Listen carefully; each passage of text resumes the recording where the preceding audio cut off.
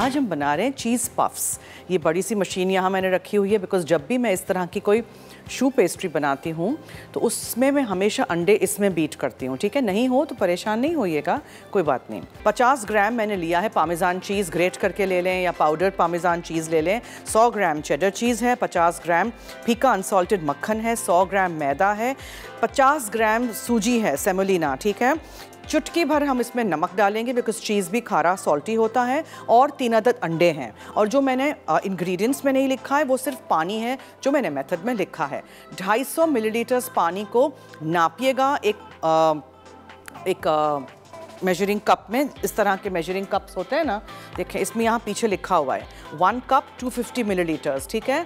सो ये याद रखिएगा कि वन कप इज़ 250 मिलीलीटर्स इतना पानी लिया था मैंने, और पानी को हमने पहले गर्म करना है, फिर इसमें हमने मक्खन डालना है, फिर इसके बाद हमने इसमें चुटकी भर नमक डालना है, और अगर मीठा होता, ये शू पेस्ट्री से हम इक्लेस बना रहे होते तो फिर उसमें हम चीनी भी डालते जब ये सब कुछ उबाल एक आ जाएगा, मक्खन में, पानी में मक्खन पिघल जाएगा, तब फिर मैं फ़ौरन उठा के इस मैदे को डाल दूँगी। एकदम से। और फिर आप यूज़ करेंगे एक वुडन चमचा और खूब ज़ोर से विगरसली आप इसको हिलाएँगे जब तक वो साइड्स ऑफ़ द पैन छोड़ ना दे और फिर उसको हम ठंडा करेंगे। ठंडा करने के लिए इस बोल में से हम इस पैन में से हम इसको निकाल देंगे। एक बोल में रख देंगे, ठंडा हो जाएगा, फिर इस मशीन में डाल के उसको अच्छी तरह बीट करेंगे कि एरेट हो जाए वो, उसमें हवा जाए और ठंडा भी हो जाए और फिर अंडे जाएँगे। अंडे कभी भी गरम शू पेस्ट्री के डो में नहीं डालिएगा ठीक है? और फिर आप उस इंतज़ार करिएगा इसको बेक होने में टाइम नहीं लगता है। इसको बस ठंडा करना बहुत ज़रूरी है। ठंडा डो होगा तो बहुत अच्छा ये बेक होगा। आपने ये याद रखना है मैं इसको छटपट आज करूँगी अपने शो पे। So first what we will do is सबसे पहले हम क्या करेंगे मैं आपको बताती हूँ।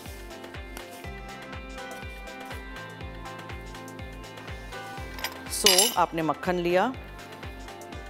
एक पैन में डाला।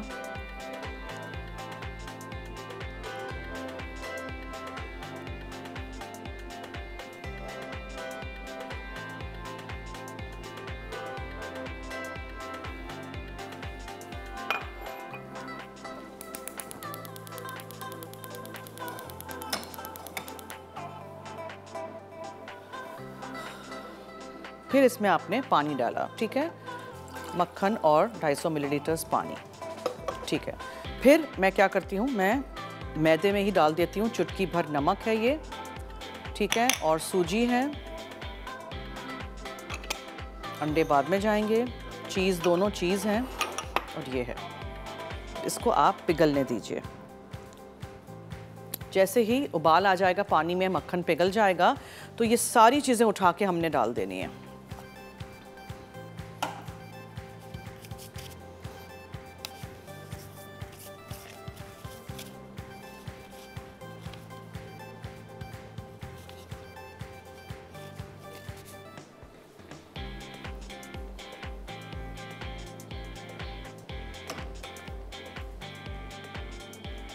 शू पेस्ट्री बनाते वक्त हमेशा हम याद रखते हैं कि ऊपर से वो क्रिस्पी हो, अंदर से वो खाली हो, ताकि हम उसको फिल कर सकें। इस वाले में हमें फिलिंग कुछ नहीं करनी है।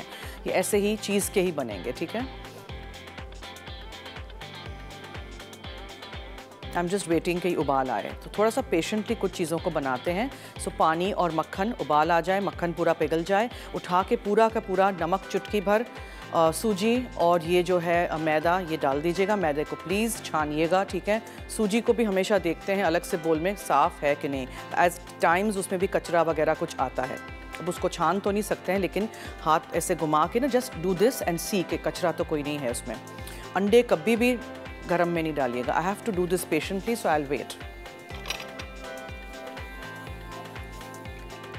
और पानी की मकदार जितनी लिखी हुई हो प्लीज़ उतनी ही डालिएगा ज़्यादा वादा नहीं कर लीजिएगा।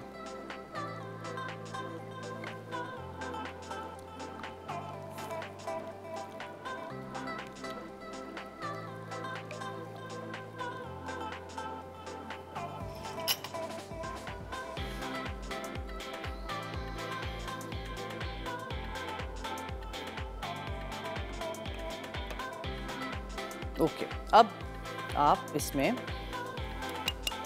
सूजी, नमक और मैदा डालेंगे।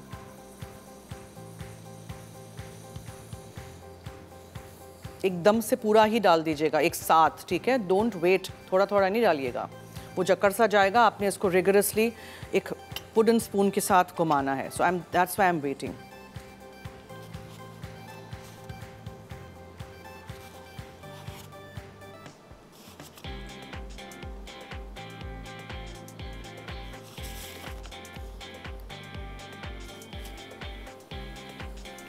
चलिए, अब देख लीजिए, ये लिया हमने, ये पूरा इस तरह डाल दिया। जब ये पूरा आपने इस तरह डाला तो इस तरह ये मिक्सचर पूरा जकड़ेगा। आप इसको वुडन चम्मच के साथ चलाइए। इसको छोड़िएगा नहीं, नीचे लग जाएगा ये। एक बॉल सा बन जाएगा। कंटिन्यूसली इसको चलाते रहिए। मैदा पकना ज़रूरी है, मैदा कच्चा ना रह जाए। देखा आपने? इस तरह करते रहिए ऊपर नीचे।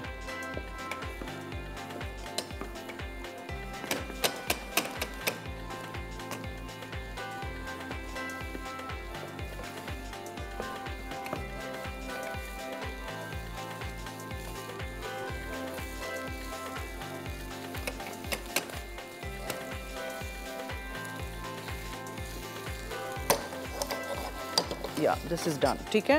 जब आपको लगे कि साइडों से ये इस तरह पैन छोड़ रहा है, एक पूरा सा बॉल सा इस तरह बन गया है तो दैट्स द टाइम आप इसको चूल्हे से हटा देंगे। जल्दी नहीं करिएगा और कोई भी चीज़ इसमें डालने के लिए। देखा आपने? ये इस तरह का होगा। चूल्हा बंद, और इसको मैं एक और बर्तन में निकाल देती हूँ। ताकि आप लोगों को भी नज़र आए क्लियर बोल में रख देते हैं इसको, ठीक है? मैंने डो बना के रख दिया है चीज़ पफ्स का, लेकिन हमें वेट करना है, जब वो बिल्कुल ठंडा हो जाएगा, तब हम इसको मशीन में डाल के बीट करेंगे, तब हम इसमें तीन अदद अंडे एक के बाद एक डालेंगे, और ये जो मेरे पास यहाँ पामेजान चीज़ और चेडर चीज़ है ग्रेट किया हुआ, वो भी जाएगा। फिर उस डो को हम ठंडा करेंगे थोड़ी देर के लिए, फिर उसके छोटे छोटे बॉल्स बना के फ्रिज में ओवरनाइट एक ट्रे में रख देंगे। ठीक है? और उसके बाद आप बेक करेंगे इसको। बील बेक इमिजिएटली इसको आपने बीट करना है, ठीक है? This dough will go in your beater इसी तरह ये होगा। घबराइएगा नहीं। और इसको आपने पहले तो अच्छी तरह एक दफ़ा बीट कर लेना।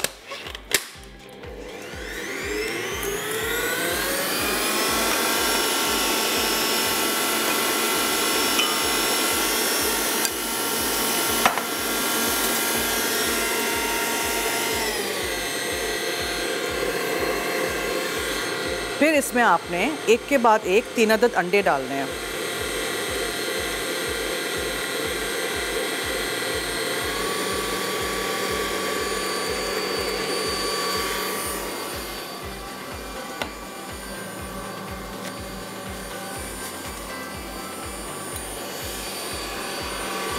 एक बीट हो जाए फिर दूसरा।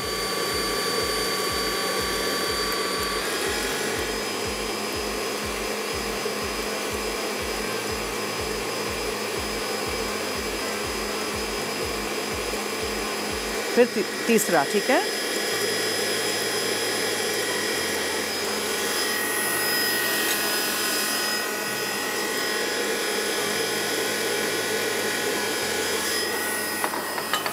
स्टेज पे आपको लगेगा कि बहुत लिक्विडी डो है, परेशान नहीं होइएगा। पामेजान चीज़ इस तरह पाउडर में भी मिलता है, ग्रेटेड भी आप कर सकते हैं ब्लॉक में से।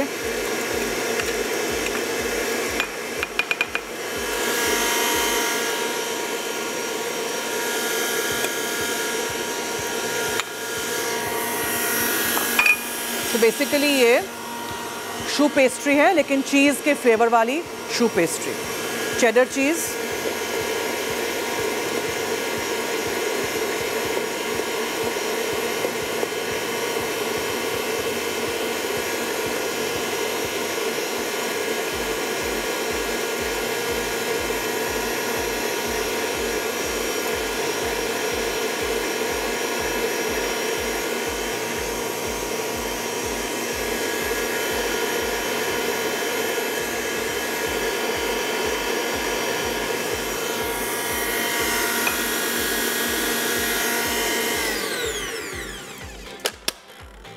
साइडों से ज़रा इसको मैं अंदर करना चाहती हूँ, ये बैटर को पूरा।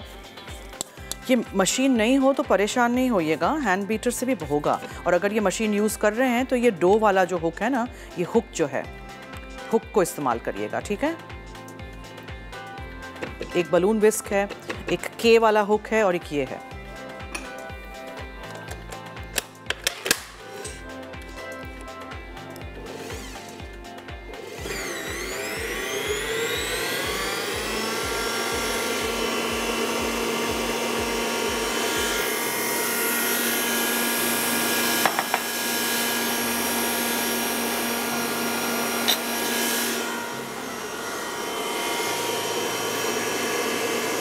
इस डो को निकाल के मैं वापस एक बोल में रख दूँगी।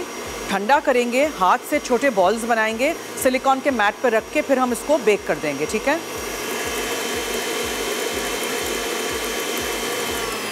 जितना हो सके आप इसको ठंडा करने का टाइम दीजिएगा और ओवरनाइट अगर टाइम हो तो क्या ही बात है।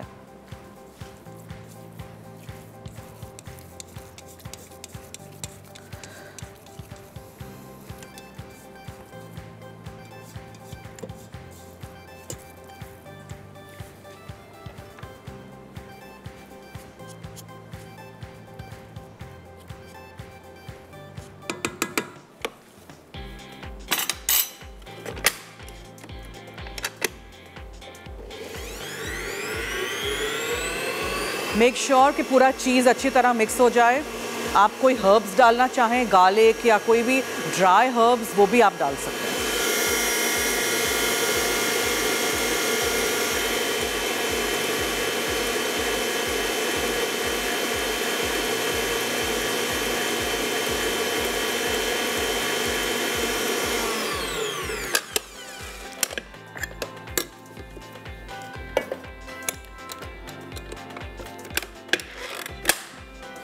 अब मैं इसमें इसको निकाल देती हूँ ताकि इसको हम अच्छी तरह ठंडा कर लें। यहाँ the last batch of our cheese puffs coming out एक बैच मैंने ब्रेक में ब्रेक, आ, बेक कर दिया था ठीक है? ये देखें।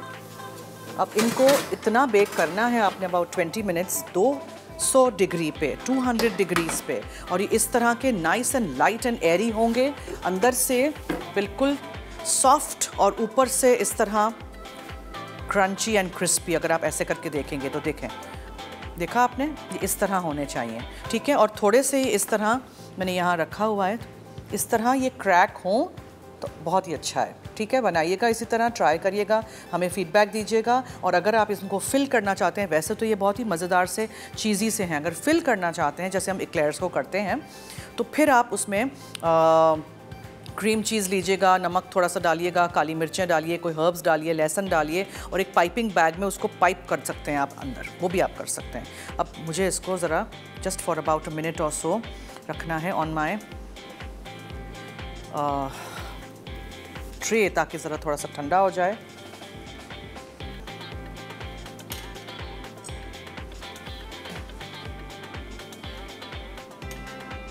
और फिर हम इसको यहाँ प्लेटर पे रख देंगे। चॉकलेट चिप कुकीज़ जो हमने बनाए थे, वो भी रेडी हैं। चिकन 65 की रेसिपी भी रेडी है। ज़रूर रेसिपीज़ ट्राई करिएगा और हमें फीडबैक देते रहिएगा।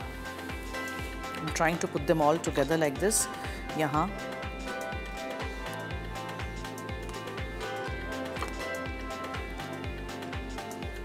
मैंने इसको ब्रेक में बेक किया था और बहुत गर्म है अभी। आई होप आप इस रेसिपी को ट्राई करेंगे ठीक है?